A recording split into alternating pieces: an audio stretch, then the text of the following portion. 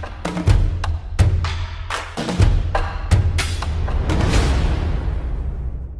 Amici di Legend Guest, ben ritrovati. Siamo con il presidente Dome Aghe e Savalon d'Aur di Lignano, il presidente Mario Montrone. Presidente, buongiorno. Buongiorno a tutti. Stiamo parlando di una delle attrazioni più eh, suggestive e ormai anche famose del periodo natalizio della regione Friuli Venezia Giulia e non solo, del presepe di Sabbia a Lignano Sabbia d'Oro. Presidente, quando è nata e come è nata questa bellissima iniziativa? È nata addirittura nel 2004, quest'anno compiamo 18 anni, raggiungiamo raggiungiamo la maggiore età.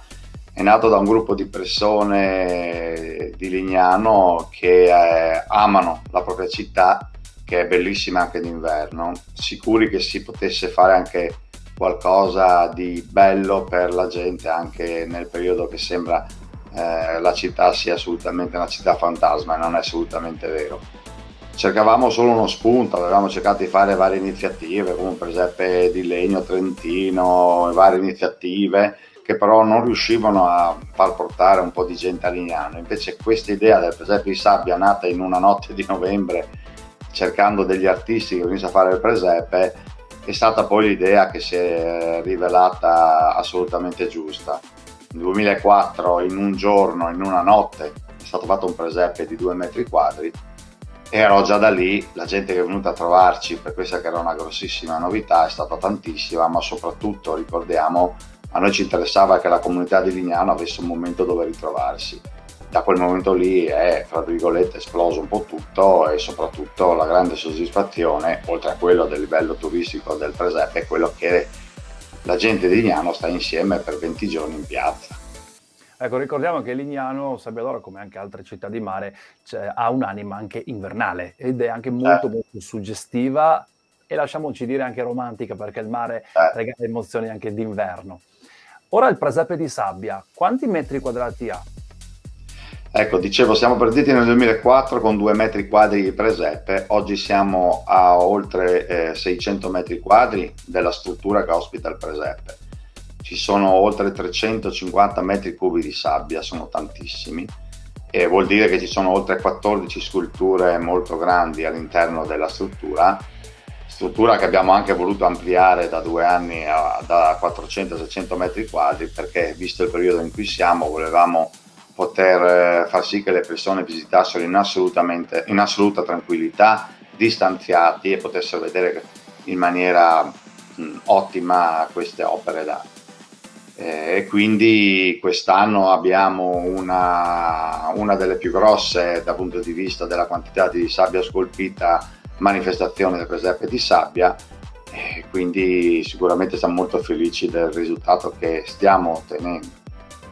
Io l'ho visitato alcuni anni fa, veramente bellissimo e lo consiglio quando si entra, eh, si ha veramente la sensazione di entrare in un altro mondo, eh, con queste sculture che si fa quasi fatica a, vedere, a, che, a capire che siano di sabbia, perché sembra quasi fatto con un materiale plastico, in realtà sono fatte in modo perfetto. Ecco, chi è eh, di chi sono queste mani preziose? Gli artisti che ci lavorano, tra l'altro immagino le ore di lavoro. Chi sono eh, e che lavoro fanno?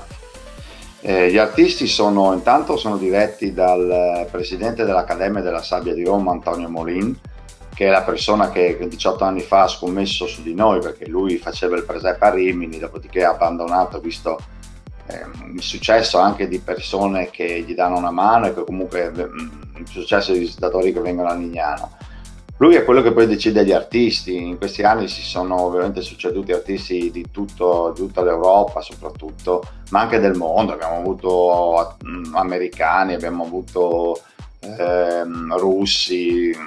Adesso, fino al 2019, avevamo artisti olandesi, un artista della Turchia, eh, un um, artista portoghese, tantissimi. Ovviamente, questo periodo qua di epidemia ha fatto sì che quest'anno, eh, oltre agli artisti di Roma, c'erano gli artisti, una bravissima ragazza, Charlotte di olandese, e però abbiamo scoperto anche degli artisti italiani eccezionali come Mario Vitadello e sua moglie eh, scrivante Ornella di Padova che veramente hanno fatto in questi due anni dove gli altri non potevano venire a raggiungerci hanno fatto veramente delle cose straordinarie.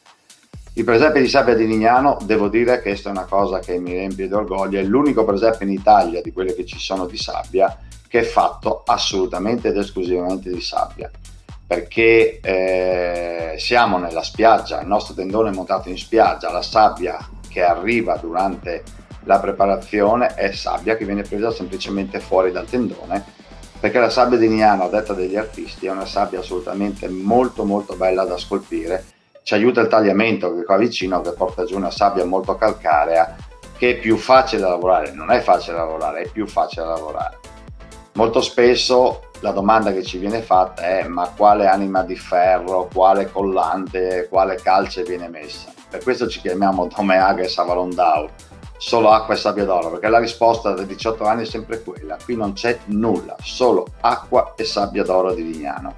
Il trucco qual è? Il trucco è semplicemente che eh, due mesi di lavoro il primo mese gli artisti comprimono la sabbia che arriva con le ruspe dentro delle casseformi di legno, comprimono la sabbia centimetro per centimetro. Lo dicevo, ci sono 14 sculture, ognuna di queste casseformi vanno via 2-3 giorni. Quindi 30 giorni di lavoro è questo lavoro di schiacciamento della sabbia. Vengono levate le casseformi e lì incominciano invece ad arrivare gli artisti che scolpiscono, un altro mese di lavoro. Questo è l'unico trucco che c'è alla base di un presepe che possa resistere 60 giorni. Poi abbiamo la fortuna di essere in spiaggia e quindi l'umidità serale fa sì che le sculture si bagnino da sole durante la notte e quindi non abbiamo bisogno di fare alcuna manutenzione. Beh, un, me lo lasci dire, era un segno del destino che Lignano Sabbiadoro avesse, ovviamente con questo nome, un presepe di sabbia unico in Italia, ma uno degli unici ovviamente al mondo, anche grazie agli artisti che ci hanno lavorato. Il eh, presepe si trova zona terrazza mare, mi corregga se sbaglio, certo. dove attorno c'è tutto un bel village, un bel certo. villaggio certo. natalizio che Lignano ha proposto per il, il periodo 2021-2022, giusto? Finalmente, dopo vari anni, da oltre 3-4 anni, il Presepe di Sabbia è l'evento diciamo, che fa da traino a questa manifestazione, ma intorno si sono create tantissime iniziative per merito dell'amministrazione comunale e soprattutto della società d'area, la Lisa Geste, che ha creato anche quest'anno un, una serie di mercatini e di food al centro di Lignano eh, dove appunto ci, sono, ci si può divertire a mangiare tutto quello che si vuole, si possono vedere i mercatini di Natale, si sta anche al caldo perché tutto all'interno di, dei tendoni che possono essere riscaldati con dei funghi, quindi eh, intorno al presepe si sono create tantissime cose, soprattutto per i più piccoli, ricordo che ci sono le giostre vicino alla chiesa di Lignano, che c'è la, la pista di patinaggio di ghiaccio vero sempre vicino alla chiesa di Lignano.